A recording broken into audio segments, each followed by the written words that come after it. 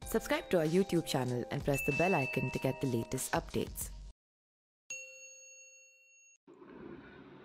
नमस्कार मेरा नाम पिंटू सिंह यादव है और आप देखना शुरू कर चुके हैं न्यूज़ लाइव दोस्तों चंदा चंद्रमा की धरती पर चंद्रयान थ्री सफलतापूर्वक सॉफ्ट लैंडिंग के बाद प्रज्ञान रोवर बाहर आ चुका है और यह चाँद की धरती पर एक्सप्लोर कर रहा है। इसरो लगातार प्रज्ञान पर नज़र रख रहा है। लैंडिंग के बाद से विक्रम चंद्रमा की सतह की कई तस्वीरें ली है, जिसमें लैंडिंग साइट का एक हिस्सा, उसका अपना मेटल का चिन्ह और उसकी छाया दिखाई दे रही है।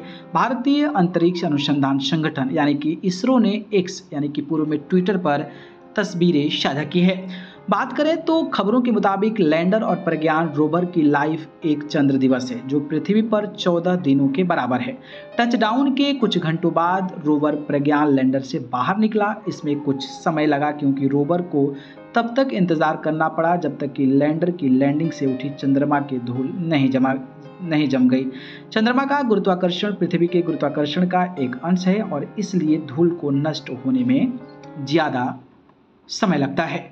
रोवर आ गया है, अब क्या होगा? प्रज्ञान रोवर एक्सपेरिमेंट करेगा, चंद्रमा की सतह से डेटा इकट्ठा करेगा और उसे लैंडर तक भेजेगा।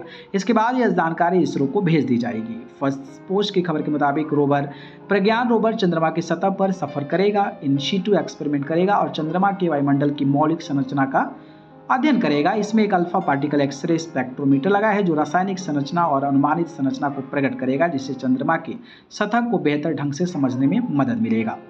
अब बात करते हैं कि चौदह दिन बाद क्या होगा। लैंड रो लैंड और रोवर का मकसद चौदह दिनों तक सतह का अध्ययन करना है। पृथ्वी पर चौदह दिन एक चंद्र दिवस के बराबर होते हैं, जिसके बाद चंद्रमा पर रात हो जाएगी और मौसम बेहद ठंडा हो जाएगा। इस दौरान सौर ऊर्जा से संचालित लैंडर और रोवर की गति धीमी होने की संभावना है। इसरो के वैज्ञानिकों का मानना है कि ऐसी संभावना है कि लैंडर और रोवर अपने मिशन की अवधि के बाद भी काम कर सकते हैं। जब चंद्रमा पर फिर से दिन होगा और जैसे ही सूर्य होगा वो एक बार फिर से एक्टिव हो सकते हैं।